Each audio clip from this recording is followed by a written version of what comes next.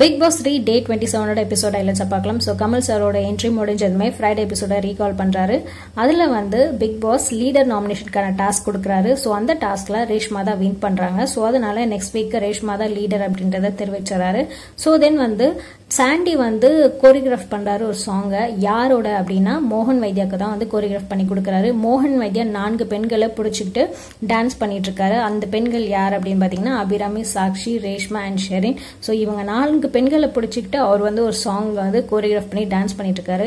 இது வந்து அவங்க ஃபன்னா பண்றாங்களா? இல்லை ஒருவேளை வந்து கமல் சார் முன்னாடி இந்த டான்ஸ் பெர்ஃபார்ம் பண்றதுக்காக கோரியோகிராஃப் பண்றாங்களா அப்படின்றது தெரியல.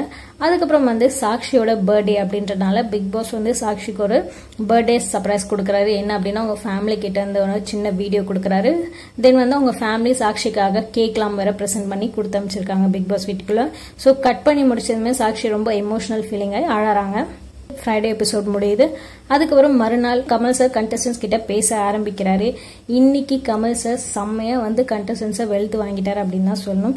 ஏன்னா ஷோ வந்து ரொம்ப ஃபன்னாகவும் போயிட்டு இருந்தது. அதே மாதிரி இன்னைக்கு ஆடியன்ஸை ரொம்பவே சாட்டிஸ்ஃபை பண்ணிட்டாரு அப்படின்னு தான் சொல்லணும். ஸோ ஃபர்ஸ்ட் வந்து மோகன் வைத்தியா கிட்ட வந்து டாபிக் ஸ்டார்ட் பண்ணுறாரு மோகன் வைத்தியா நீங்கள் ரொம்ப ஃபீல் பண்ணிட்டீங்க. நான் எப்போ பார்த்தாலும் சாண்டியை கூப்பிடுறேன்னு சொல்லிட்டு. ஸோ இன்னைக்கு நீங்கள் என் கூட பேசுங்க அப்படின்னு சொல்லிட்டு மோகன் வைத்தியிட்ட பேசிட்டு அதுக்கப்புறம் மோகன் வைத்தியோட ப்ராப்ளம் பத்தி கேட்கிறாரு ஏன் நீங்க அடிக்கடி டீம் சேஞ்ச் பண்ணீங்க?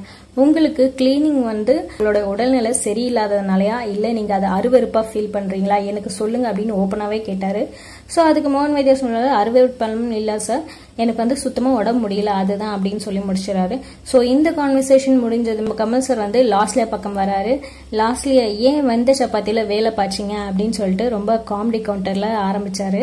ஸோ அதுக்கு லாஸ்ட்ல எக்ஸ்பிளனேஷன் கொடுக்குறாங்க. இந்த மாதிரி நான் வந்து தர்ஷன் எப்பவுமே என் கூட தான் சாப்பிடுவாரு. ஆனால் அன்னைக்கு வந்து என் கூட சாப்பிட வரல. நான் ரொம்ப நேரம் வெயிட் பண்ணேன். ஸோ அதனால எனக்கு கோவம் வந்து அந்த டைம்ல ஷெரின் வந்து ஹார்ட் ஷேப்ல சப்பாத்தி வந்து தர்ஷனுக்காக செஞ்சிருக்கேன்னு சொன்னதும் நான் அதை குத்திட்டேன்.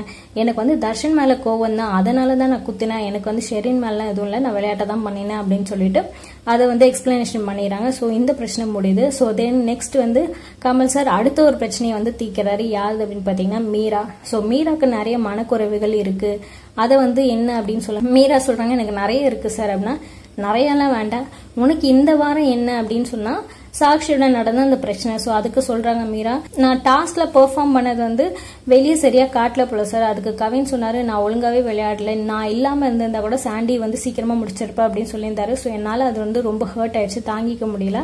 அதுதான் சார் அந்த பிரச்சனையிலேருந்து ஆரம்பிச்சது தான் அதனால நான் வந்து மீட்டிங் கிரியேட் பண்ணேன் அப்படின்னு சொல்லிட்டு எல்லாருமே நினைச்சிட்டு இருக்காங்க. நான் சொல்லல. சாக்ஷி தான் வந்து ஆக்சுவலி அந்த மீட்டிங் அரேஞ்ச் பண்ணது. அவங்க தான் வந்து மீட்டிங் போடுன்னு சொன்னாங்க. நான் வந்து அதை அக்செப்ட் பண்ணேன். அப்படின்னு சொல்லிட்டு சொன்னாங்க. ஸோ தென் வந்து கமல் சார் மற்ற கண்டஸ்டன்ஸ் கிட்டயும் வந்து ஒரு ரெஃபரன்ஸ் மாதிரி கேட்டுக்கிறாரு. அதுல மோஸ்டா சாண்டி அண்ட் சேரன் இவங்க ரெண்டு பேரும் என்ன சொல்றாங்கன்னா சார் மீரா ஆக்சுவலி குறும்படம் கேட்கறாங்க சார் அவங்க வந்து அந்த வார்த்தையை சொல்லல அப்படின்றத அவங்களுக்கு அந்த குறும்படம் போட்டு காமிச்சாதான் தெரியும் அப்படின்றத அவங்க விருப்பப்படுறாங்கன்னு சொன்னது பிக் பாஸ் அப்படியா? குறும்படம் வேணுமா? சரி போட்டுருவோம் அப்படின்னு அந்த மீராவுடைய குறும்படத்தை பிக் பாஸ் போட்டு காமிக்கிறாரு. ஸோ அப்போ வந்து அந்த குறும்படத்துல மீரா சொல்றாங்க இந்த மாதிரி நான் விளையாண்டது வந்து யாருக்குமே வெளியே தெரியல. எல்லாருமே சாண்டியை தான் வந்து விளையாடி இருக்காரு நல்லா பெர்ஃபார்ம் பண்ணிருக்காரு நினச்சிருக்காங்க. எனக்கு அது வந்து ரொம்ப ஹர்ட்டிங்காக இருக்கு. நானும் அந்த டாஸ்கில் ஒரு பாட்டாக இருந்திருக்கேன்னு சொல்லணும் அப்படின்னு சொல்லும் போது அதுக்கு சாட்சியும் வந்து சொல்கிறாங்க அப்போ வாங்க எல்லாருக்கிட்டையுமே ஒரு மீட்டிங் அரேஞ்ச் பண்ணிடுறேன் அப்படின்றத சொல்கிறாங்க அந்த வார்த்தையை பிக் பாஸ் திரும்ப திரும்ப எடிட் பண்ணி போட்டிருக்காரு. இந்த குறும்படத்தில் கிளியராக தெரிஞ்சிச்சு. சாக்ஷி தான் வந்து ஃபர்ஸ்ட்டு மீட்டிங் அரேஞ்ச் பண்ணும் அப்படின்னு சொன்னது.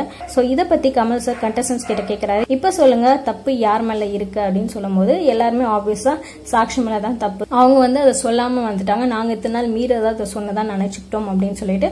ஸோ இந்த விஷயம் காம்ப்ரமைஸ் ஆயிடுச்சு. இதுக்கப்புறம் என்ன அப்படின்னா சாக்ஷி ஃபேஸே வந்து வாடி போயிடுச்சு. என்ன அப்படின்னா நான் வந்து அவளோட நல்லதுக்காக தானே சொன்னேன். எல்லாரோட மீட்டிங் அரேஞ்ச் பண்ணேன்னு. இது வந்து என்ன ரொம்ப என்ன கில்ட்டி ஃபீலிங் ஆக்கிட்டாங்களே அப்படின்ற மாதிரி அவங்க ஃபேஸ் ஃபுல்லாக சேஞ்ச் ஆகி அவங்க அலற மாதிரி ஆயிட்டாங்க.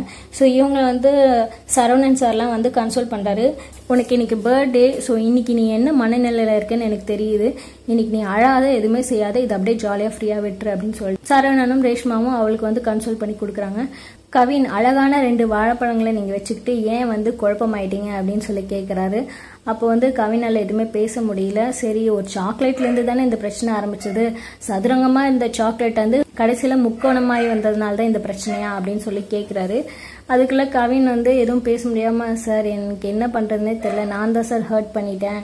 ஸோ இது என்னோட மிஸ்டேக் தான் அப்படின்னு சொல்கிறாரு அப்புறம் கமல் சார் வந்து இதை பற்றி சாக்ஷிகிட்ட விசாரிக்கும் போது சாக்ஷி சொல்கிறாங்க எனக்கு கொஞ்சம் ஹர்ட்டிங்காக தான் சார் இருந்தது அப்படின்னு சொல்லும் போது கவின் கூப்பிட்டு சார் ப்ளீஸ் நானே கஷ்டப்பட்டு வந்து இப்போ தான் சமாதானப்படுத்தியிருக்கேன்.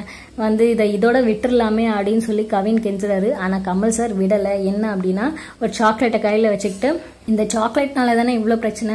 சரி ஓகே ஸ்டோர் ரூமில் ஒரு சாக்லேட் வச்சுருக்கேன். அதை நீங்கள் யாருக்கு கொடுப்பீங்கன்னு பார்க்கலாம் அப்படின்னு சொல்லும் போது ஸ்டோர் ரூம்லேருந்து ரெண்டு சாக்லேட் வந்து பிக் பாஸ் கொடுத்து அனுப்புறாரு. இந்த ரெண்டு சாக்லேட்டை நீங்கள் யாருக்கு கொடுக்க விரும்புறீங்க? கமல் சார் கேட்கும் போது ஸோ கவின் வந்து சாக்ஷிக்கு தான் வந்து ஃபர்ஸ்ட் கொடுக்குறாரு அண்ட் தென் லாஸ்ட்லியாக்கு ஸோ அதுக்கான எக்ஸ்பிளனேஷன் கொடுத்து முடிச்சாரு. தென் கவின் சொல்றாரு நான் வந்து என்னோட தப்பை ரியலைஸ் பண்ணிட்டேன். ஸோ நான் வந்து விளையாட்டாக தான் ஆரம்பித்தேன் பட் அதுவே விளையாட்டாக விளையாடி இருக்கக்கூடாது நான் ஒரு ஸ்டெப் வந்து ரொம்ப தாண்டி போயிட்டேன். அது வந்து அவங்களுக்கு ரொம்ப ஹர்ட் ஆயிடுச்சு. அவங்களுடைய ஃபீலிங்கில் வந்து நான் ரொம்ப விளையாடிட்டேன் அப்படின்றத புரிஞ்சுக்கிட்டாரு கமல் சாரும். அதை கவினுக்கு புரிய வைக்க தான் வந்து இவ்வளோ நேரம் ட்ரை பண்ணிட்டு இருந்தாரு.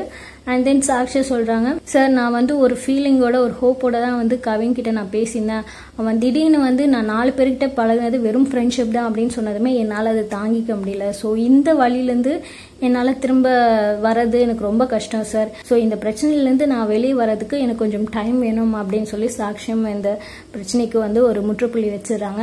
ஸோ தென் கமல் சார் என்ன சொல்கிறாரு ஓகே இனிமேட்டாவது எல்லாருமே பார்த்துருங்க அப்படின்னு சொல்லிட்டு ஸோ இந்த பிரச்சனை நாளைக்கு உங்களை வந்து ஒரு வேறு விதமாக காட்டுறதுக்கு உங்களுக்கு தூண்டும் அப்படின்னு சொல்லிட்டு ஸோ இந்த வீக் எலிமினேஷனுக்கு நாமினேட் ஆகிருக்கிற அஞ்சு பேர்லேருந்து யார் சேவ் ஆவாங்கன்னு நீங்கள் நினைக்கிறீங்க? அந்த நாமினேட் ஆனால் அஞ்சு பேர்கிட்ட கமல் சார் கேட்குறாரு ஸோ அதில் வந்து மீரா கொஞ்சம் மெஜாரிட்டி அண்ட் சேரன் சாருக்கு மெஜாரிட்டியாக இருக்குது ஆனால் யார் சேவ் ஆயிருக்காங்க இந்த வீக் அப்படின்னு கமல் சார் சொல்லாமலே இந்த ஷோவை முடிச்சிட்டாரு.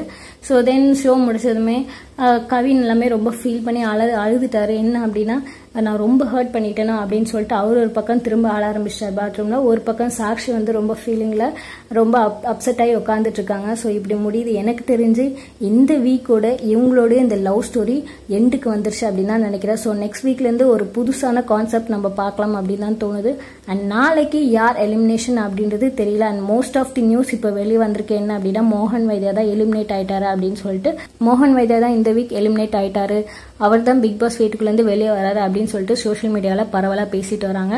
ஸோ அதை வந்து நாளைக்கு விஷுவலாக நம்ம பார்த்தா தான் நம்மளுக்கு அது உண்மையா அப்படின்றது தெரியும். ஸோ மேலும் பிக் பாஸ் அப்டேட்ஸ் தெரிஞ்சுக்கணும் அப்படின்னா மெட்ரோ பிக்ஷனில் சப்ஸ்கிரைப் பண்ணுங்க. ஸோ இந்த வீடியோக்கான கருத்துக்கள் ஏதாவது இருந்தால் கமெண்ட் பாக்ஸில் கமெண்ட் பண்ணுங்க. அண்ட் மறக்காம ஷேர் பண்ணுங்க.